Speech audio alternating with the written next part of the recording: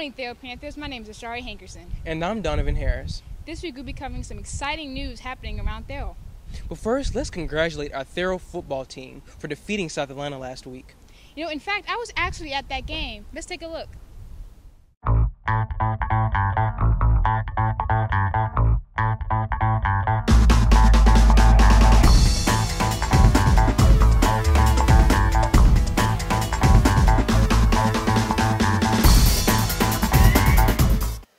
Hey Therrell Panthers, Ashari here. The Therrell football team beats South Atlanta football team 33 to 20. Join us this Friday, Therrell against Westminster. And now to Courtney with the upcoming events. Homecoming voting has been moved. We will vote next Monday, September 29th, 2014. Also, the softball team has advanced to playoff. When you see a softball player, give him a high five. Back to you guys. Last week, the students here at Therrell High School went on different college trips. Let's go to Jordan Hawthorne, who interviewed the founder of the Speak Life Foundation. Good morning, school. Today we are going on a couple trips to the University of Alabama, the University of Auburn, Tuskegee, and another college. We're interviewing Miss Thornton to find out a little bit of information upon about these trips. So, Miss Thornton, how long have you been running trips like this? We have been working with the Speak Life Foundation, has been working with Therrell High School since about 07. So we st- did, took our first college tour with Therrell back then. So What opportunity do you believe that the students will receive from taking these trips? I think exposure is important. I believe that when students are exposed to different colleges and universities, they are then inspired to work harder, to stay focused, and do better in school. When I was in high school, I'm an APS alum. We didn't necessarily have the opportunity to go on tours like this. And so I think it's a wonderful opportunity for students to learn more about college, the college campus, the college experience, and figure out whether or not it's a good fit for them. Okay. Do you believe that the Therrell Panthers will have a good time today on this trip? Oh my goodness, yes. We're taking the seniors. The seniors are amazing. Um, they're going to be on their best behavior and they're going to have a great time. They're going to learn a lot. They're going to meet a lot of good people. They're going to learn about the admissions requirements at the schools and figure out whether or not Auburn, Miles College, uh, Tuskegee University, and or the University of Alabama Birmingham is a good school for them. So. All right. Thank you. And now for our homecoming commercial.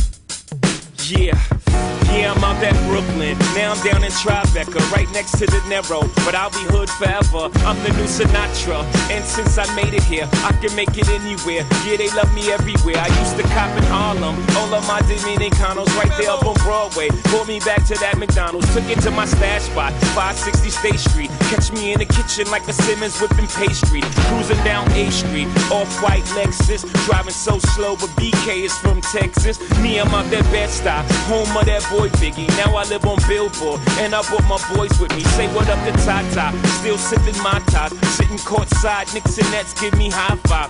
I be spiked out, I could trip a referee. Tell by my attitude that I most definitely from.